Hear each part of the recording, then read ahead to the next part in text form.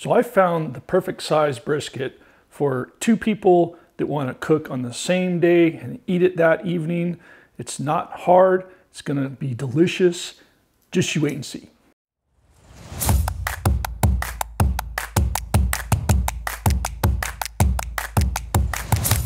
Hey guys, welcome back to the channel. My name is Todd. This is Greenhorn Barbecue.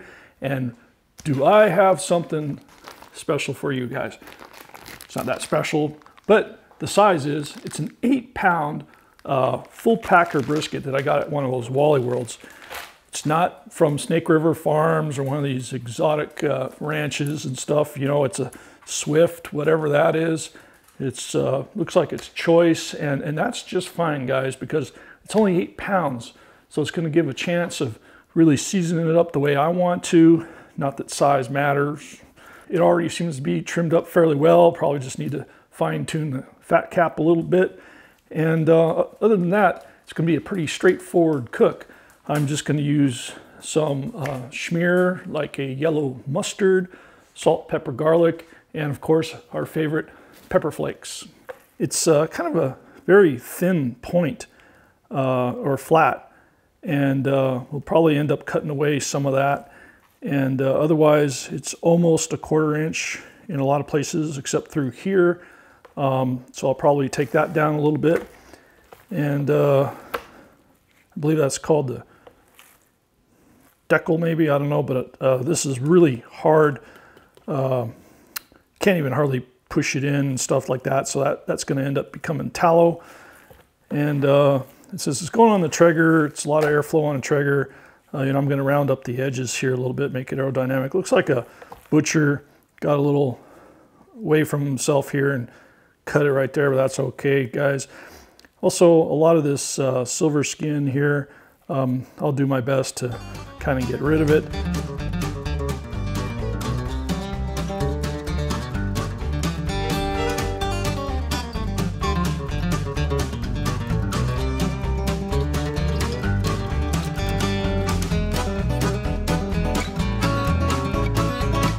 I'm going to come in with my uh, typical schmear, which is yellow mustard. Um, you can use whatever you want. It's really a preference. It's not even required. So again, guys, you can use Worcestershire sauce. You can use uh, soy sauce. You can use all kinds of sauces. Do, do whatever you want, guys. So next thing I'm going to do, guys, is uh, hit it up with some of this uh, Redmond's uh, natural salt, guys. Give you a quick little sneak peek. I'll try to leave a link in the description uh, if we can get this online, but this is good quality salt. It's even a little coarse, but uh, I'll leave a link in the description. Go check it out. It's really high quality salt.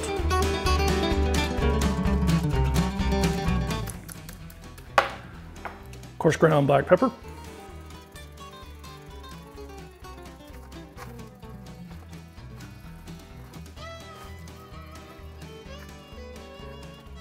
And just a touch of granulated garlic. Just a dusting. This stuff is actually very fine, so I'm just dusting it. And then what we really like around here is some uh, crushed red pepper flakes because uh, we like the spice, guys. Spice is life. All right, guys, so you've seen my Traeger countless times. I don't need to reintroduce it, but let me tell you, this thing is 10 years old. I've modified it numerous times. I got the monster stack. I got a cart on here and, uh, and a little table right here, among other things. I've never really ever had any problems with it, although it is getting old. I've had the typical uh, fires and uh, feed problems where the smoke comes back and stuff like that, but it's never killed it yet.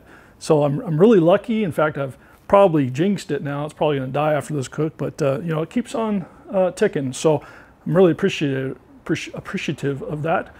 So anyway, I'm going to be setting it for uh, 225. I'm going to be putting the brisket on, and uh, again, I've got plenty of videos uh, with this Traeger, and uh, oh, also I have the Tel-Tru thermometer up here, kind of a truth data, if you will, because the temperature thing right here has sometimes been known to be finicky.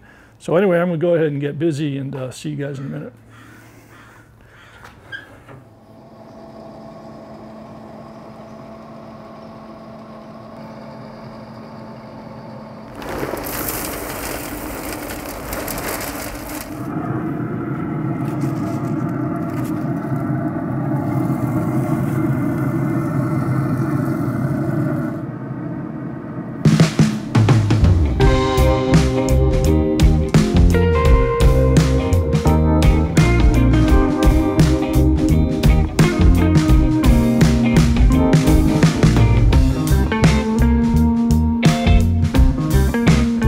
Guys, so it's been about three hours since I put it on the Traeger.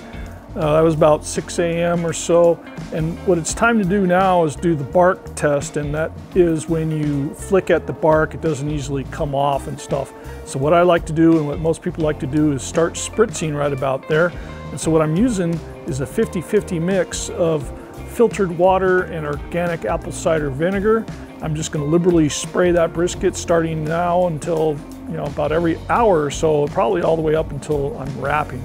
So as you saw from that earlier clip in the kitchen, I'm rendering down some tallow, which is all the trimmings from the brisket. I'm doing that in a stainless steel pot. And then when I'm done, I'm gonna filter that out. That's what I'm gonna use to moisten up that brisket just prior to wrapping. So it's gonna come out really, really good. All right, guys, it's time to wrap.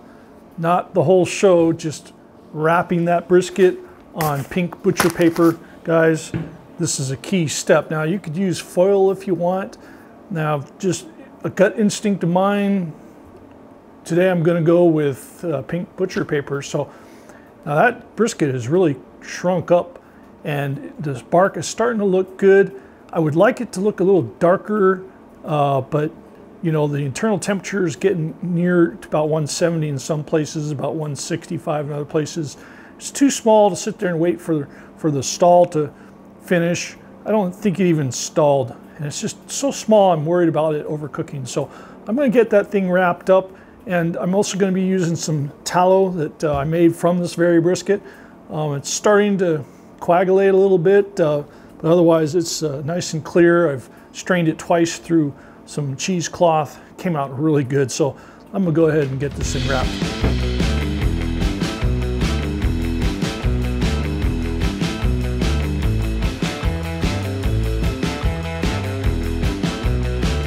All right, guys, look at this. If you could smell what I'm smelling now, mm, God.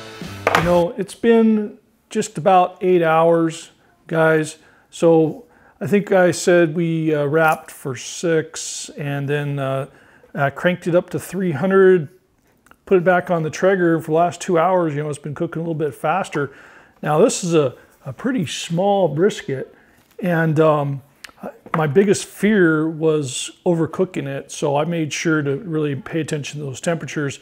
Today I was just using the Thermo Pro TP19. Uh, if you're interested, uh, I had a little link to our Amazon store down below. Um, tell me what you guys use to track temperature and your experiences. Uh, I'd like to hear about that down below. Anyway, um, getting back on with where we're at now. So a friend once told me that uh, you take the brisket out and you set it on the counter, don't unwrap it, and just let it sit there at room temperature. Uh, till it gets down to probably around 170 to 140 or something like that. Um, so it's going to cool off for a little while. Um, I'm not going to put it in a cooler, wrap it with a blanket or all this other, uh, you know, black magic uh, theories that people have. It might work for them, but you know, it's never actually worked for me. I ended up overcooking it and either the bottom or one part of the brisket ends up shredding off as I'm, as I'm cutting it. You might have experienced the same thing and I just don't feel like uh, repeating what really hasn't been working.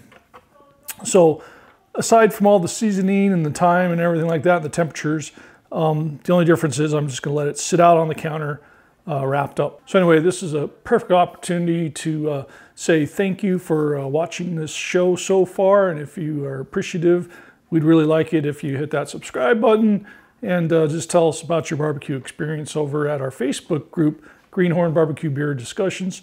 Uh, it's a private group to uh, kind of keep the spam down, but uh, really all it's about sharing ideas and, and, stuff like that. So hit us up over there. I'm also on all the typical social medias and things. And uh, go say off the bat, I would say it feels good. The bottom is what I'm always worried about it getting overdone, but I think it actually feels pretty good. All right, let's take a peek here. I always end up splashing Okay. The bottom stuck a little bit to the butcher paper, but not that bad. Okay. Get a little bit of this juice. I can't wait anymore. I'm just going to go cut it down the middle.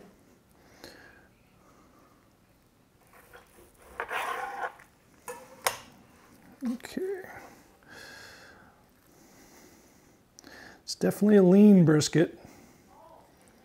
All right. It's not bad.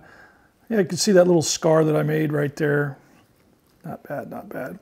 Decent smoke ring for a Traeger you know, that's oxidation.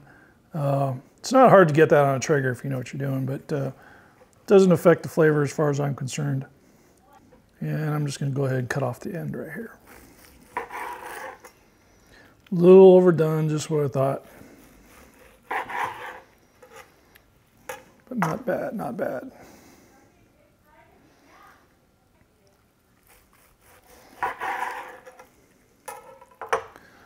Okay.